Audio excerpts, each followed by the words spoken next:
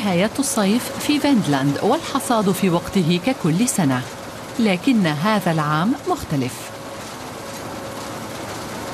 أحد عشر عاما والمزارع شتيفان غوكي يزرع حبوبه بشكل بيئي دون سماد.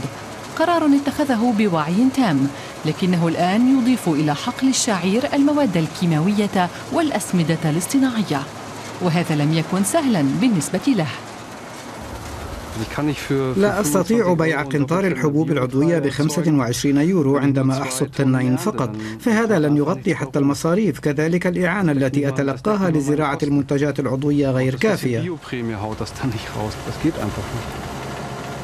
يزرع قرابة 80 هكتارا ومزرعته نمطية في هذه المنطقة إذ يوجد الكثير من المزارعين للمنتجات العضوية في فينلاند في ولاية ساكسونيا السفلى.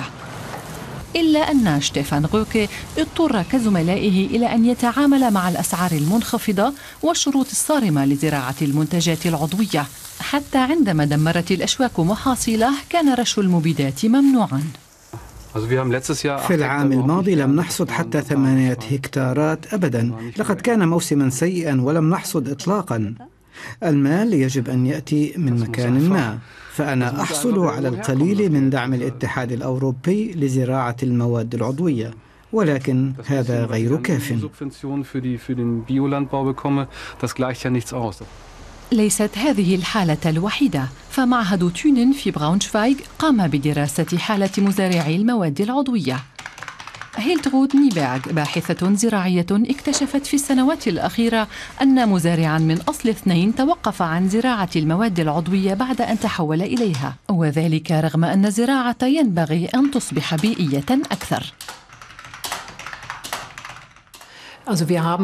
لدينا في الزراعة التقليدية ازدياد في المحاصيل وارتفاع في الأسعار وهي أقوى مما هي عليه في مجال زراعة المواد العضوية.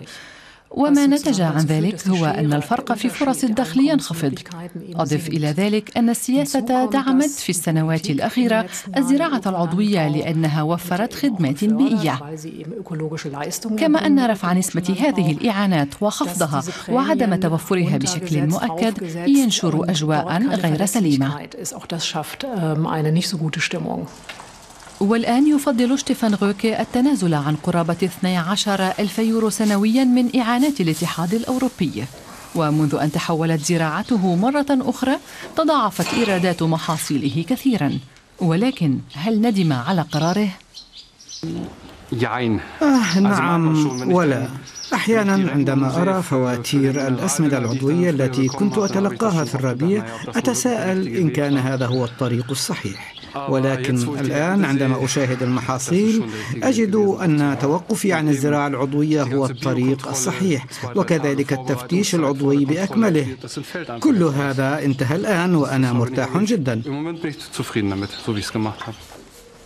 تخطط الحكومة الألمانية في المستقبل لزراعة 20% من الأراضي في ألمانيا بالمواد العضوية.